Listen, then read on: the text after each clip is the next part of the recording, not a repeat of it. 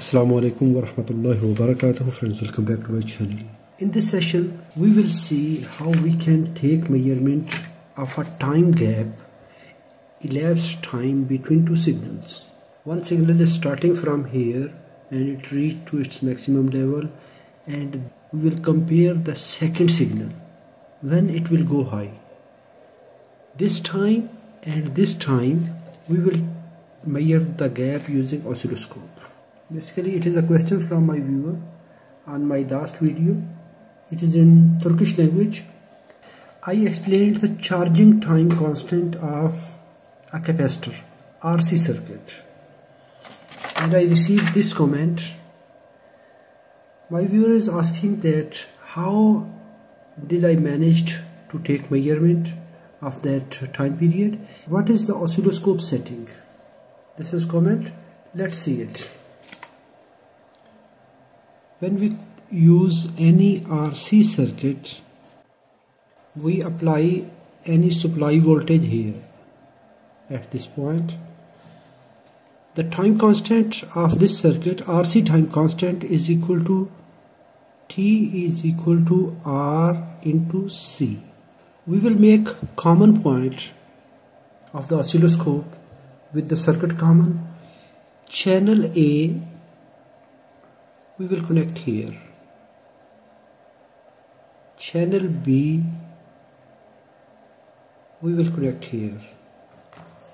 This is channel 1 we will set it to 1x or 10x depending on the amplitude of the voltage.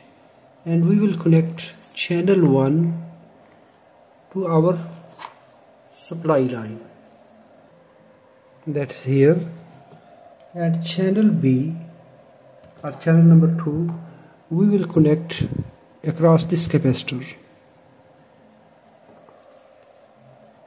Set oscilloscope to 5 volt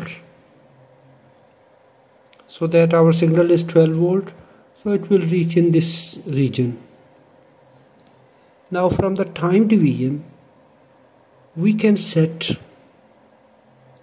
2 second per division 3 second 5 second 10 second 20 and 50 second when we will select 50 second this oscilloscope have 1 2 3 4 5 6 7 8 9 10 11 12 12 squares. 12 multiplied by 50 it will become 600 seconds. So we can say this oscilloscope can record up to 10 minutes long wave shape.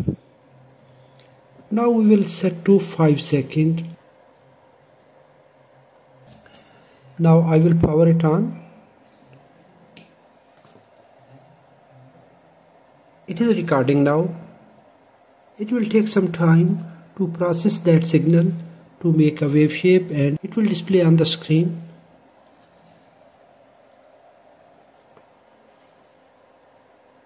Yes we can see the capacitor is now charging.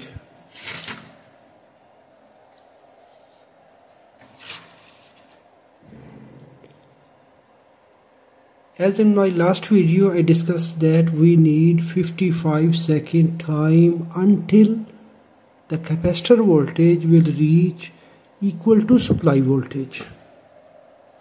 I will stop it here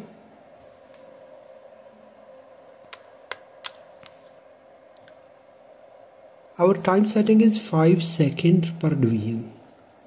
It is starting from here 1, 2, 3, 4, 5, 6, 7, 8, 9, 10, 11. At 11th grid, its amplitude, the capacitor voltage are equal to supply voltage.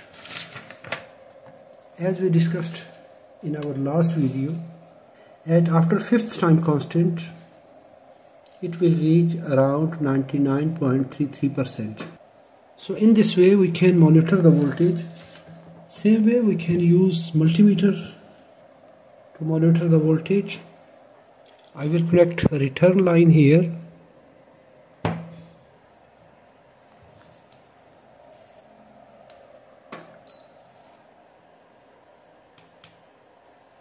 DC voltage and we will connect this multimeter across the capacitor. I will use stopwatch. Now we will run stopwatch and we will record the screen here. I turned on stopwatch and we can monitor the voltage are increasing fastly. In first 11 second it reached at this voltage level. In the second time constant that is at 22 second we can see the voltage level is here about 86 percent. Now it will charge very slowly. As it is being displayed on the screen and the same here and same in the calculation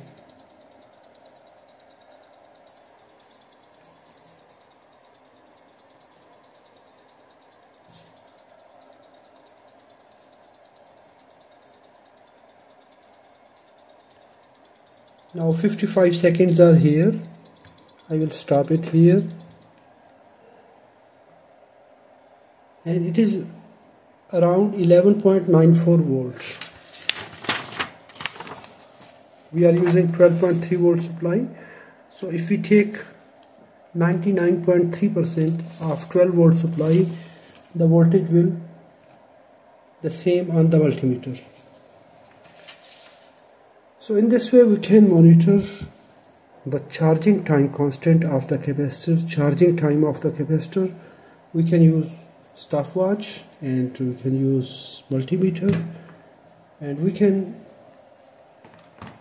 use this time function using two signals. We can monitor the elapsed time between two signals. That is time interval if you enjoyed this video hit the like button. If you have any question please write in the comments. Thanks for watching. Assalamu alaikum warahmatullahi wabarakatuh